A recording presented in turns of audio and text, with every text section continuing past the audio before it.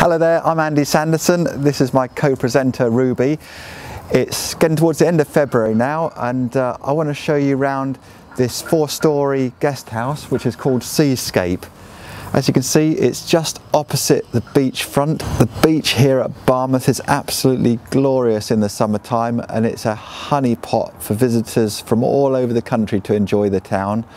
And what visitors need more than anything else when they come here is accommodation. I don't think Seascape is going to sell because of some of the nice architectural features it's got or because it's got loads of room inside it. I think it's going to sell because somebody can move here, turn the hand to doing a little bit of B&B or being a guest house and finance a lifestyle by the coastline that they may have only dreamed of previously. Now I'm not going to show you everything about this house because there's just too much to show you all in one short video but briefly what I want to explain is that on the ground floor there's some sort of space for the owner with a lounge come dining room, study area, and then also a laundry at the back um, for the business.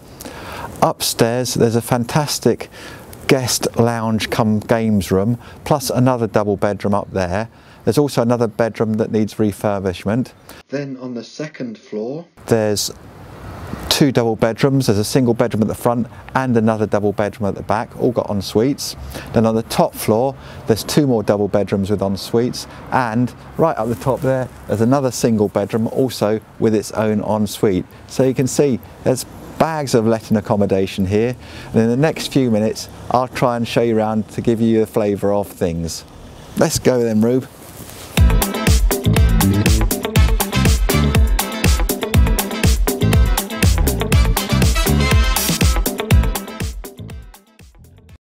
Come into the building, the nice wide hall with its high ceiling and original staircase creates a great first impression. Through the hallway here, there's an inner hall, and this is where the door to the cellar is on the left hand side.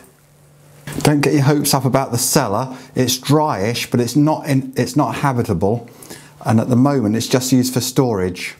More importantly, on the right hand side of the hallway, we've got the owner's lounge and kitchen area.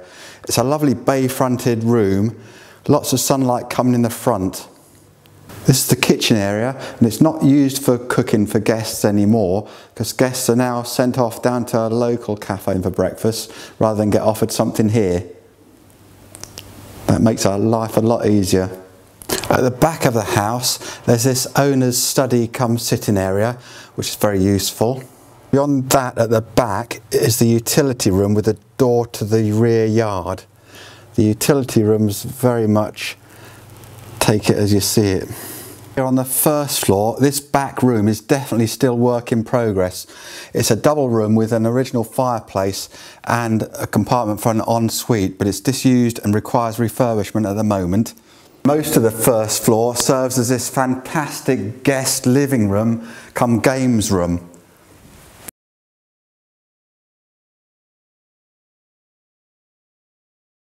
I now want to take you up to the second floor where the serious bedroom space starts to begin, all with en suites. This rear double room has an ensuite bathroom. This other one also faces the rear with its own fire escape out the back there and this has got an ensuite shower room with it.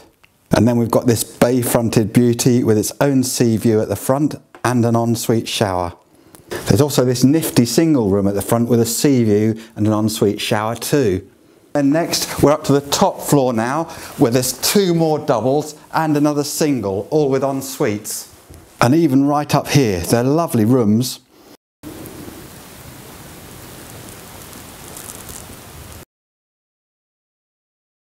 And last but not least, right at the top here, another nice single with a sea view too.